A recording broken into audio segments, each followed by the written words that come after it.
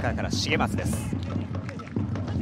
追い越してきた薩川のクロス西本こぼれて栗田押し込みました。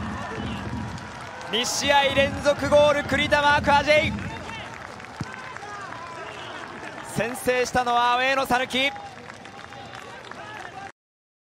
サッカーを愛するすべての皆様へ。J リーグはお客様にスタジアムで安心安全にご覧いただくために新型コロナウイルス感染症予防対策を徹底しております。これからも皆様にスタジアムで全力のプレーを熱気を臨場感を一体感を感じていただくために J リーグは対策を徹底します。スタジアムでお待ちしています。